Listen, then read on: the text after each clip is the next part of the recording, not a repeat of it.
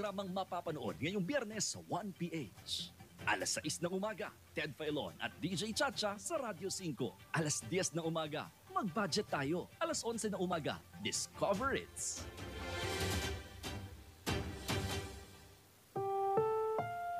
Ang susunod na programa ay rated PG. Patnubay at gabay ng magulang ay kailangan sa mga batang manonood.